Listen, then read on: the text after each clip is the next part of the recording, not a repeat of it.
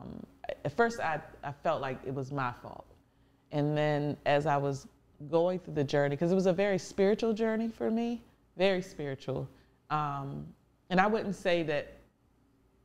So I have a, a, relationship. I had a relationship with God, but it wasn't, wasn't what it is today.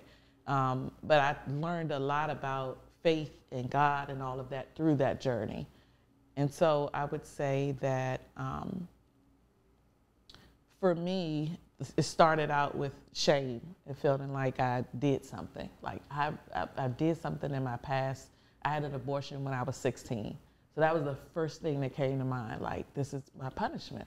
And with focal segmental glomerulosclerosis, a part of your uh, a part of the nephrons in your kidneys, the filters in your kidneys, become scarred.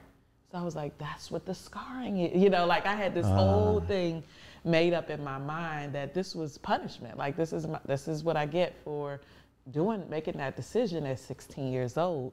And so um, it started out that way, but then God was like, no, this is not that. This is something completely outside of that. And so then that was a whole nother transition and, and I would say, you know, even a mind transformation of, okay, so it's not that. Well, what, where's this come? What did I do? You know, I'm, I'm a 31 year old mother and I'm here with kidney disease and, you know, my whole world is turned upside down. And so, you know, I thought I was in faith, but I really wasn't like mm. throughout the journey. And so I've evolved even in that way because to me, faith meant, because I'm a child of God, faith meant I'm going to be healed. Like, I'm not going on dialysis. You're going to heal me. I'm going to pray. I'm going to fast. I'm going to do all this stuff and then I'm gonna be healed.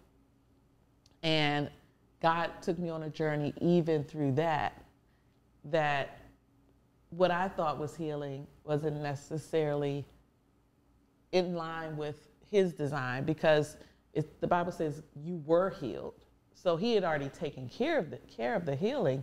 Now how it shows up may not look like what I thought. So how it showed up for me was going to look like, no, you're not going on dialysis. You're going to be miraculously healed. And not to say that that can't happen, but that in my mind, that's what I thought. So everything was very spiritual, and it, it was a it, it it wasn't until my mind transformed that God, how this is healing. Yeah, I am healed, and however this manifests itself, I'm I'm still healed regardless. And so that was a whole journey um, because I think when we think of healing, we're looking for something on the outside that looks like, you know, my legs just miraculously, Boom. you know, went down. I can walk. Yes, I'm off this medica- medication. Like uh, it's all these things that I thought in my mind. Um, but he, through this process, I saw how healing is not necessarily something that is tangible that you see right away, but it could be like my mind was renewed and healed throughout the journey. My mm. whole perspective of me going into this, I started out in shame. Then I, I, I went through the grieving process. I tell everybody like, you you're gonna grieve it because life as you know it is gonna change. So I, I grieved it, went through all the, the the shaming, the anger, all of that until I came to a place of acceptance. And I feel like when I came to the place of acceptance, that's when the real healing could begin mentally, emotionally, all of that. Um, and um, it, it, was it was it was in the hospital room that I got this revelation that you're already healed, Sharron. Like it doesn't matter what else happens on the other side of this; it's already been taken care of. And basically, you're so consumed with you right now that you don't see the beauty in this process. And so everything was very spiritual in that way. So once I wrapped my mind around, like, yeah, I'm healed. Like, what is dialysis?